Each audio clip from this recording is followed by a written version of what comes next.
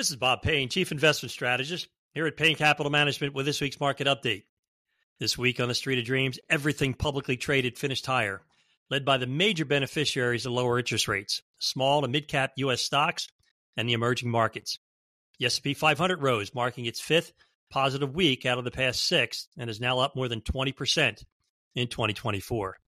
The markets rallied on the surprise move by the Federal Reserve on Wednesday, which cut rates by a supersized half point its first cut since 2020. Many were predicting only a 25 basis point cut. The bond market joined the rally with the yield of the two year Treasury note dropping under 3.6%, while the 10 year fell to 3.7 on the week. However, this offers little comfort to the $6 trillion hiding out in money market funds whose yields have nowhere to go but down as the Fed's rate cuts take effect. The good news is there is still time to act. Investing is hard, and it's okay to be wrong, but it's not okay to stay wrong. Fed Governor Christopher Waller, the first comments by a member of the Fed since Chair Jerome Powell's press conference, stated on Friday that inflation is coming down faster than he expected, causing him to be in favor of the half point cut. Investors obviously viewed the aggressive rate cut as a positive catalyst, especially considering the resilience of the economy.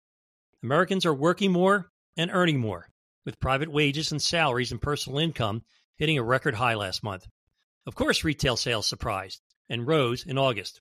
When U.S. consumers are earning, they are spending. Falling gas prices and now falling interest rates effectively act as a tax cut for the global economy. What consumers save on gas or mortgage payments, they'll likely spend on other items, like cars. Auto sales surged in July. This might explain why the Atlanta Fed's GDP Now model boosted its GDP growth forecast for the next quarter from 2.5% to 3%. Needless to say, things look pretty good to me. It's amazing that two weeks ago we suffered the biggest one week decline of the year.